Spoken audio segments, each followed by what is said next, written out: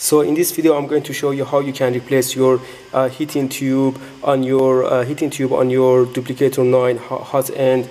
And uh, for that uh, what you need to do first uh, first of all make sure uh, the printer is not heating and the hot, hot end is cool.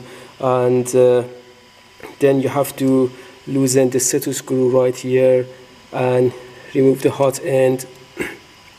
And here is a bolt. You have to also remove it and free the cables. As you see and uh, I just removed the heating tube. And as you see on the hot end there is a set of screw you have to loosen it. You have to loosen it and uh, just remove the heating tube.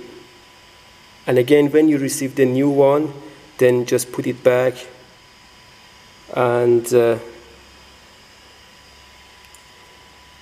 make sure it's just not too front or too back. Just give it a proper distance and then tighten the set screw right on the hot end. Put it back and uh, tighten the groove screw here in order to keep the hot end tight and make sure it's not just shaking. And put the cable back or maybe first.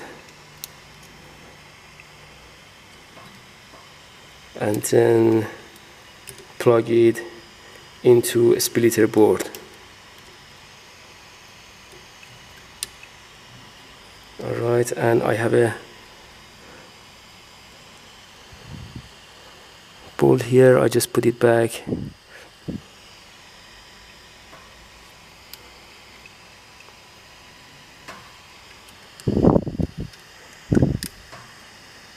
And tighten it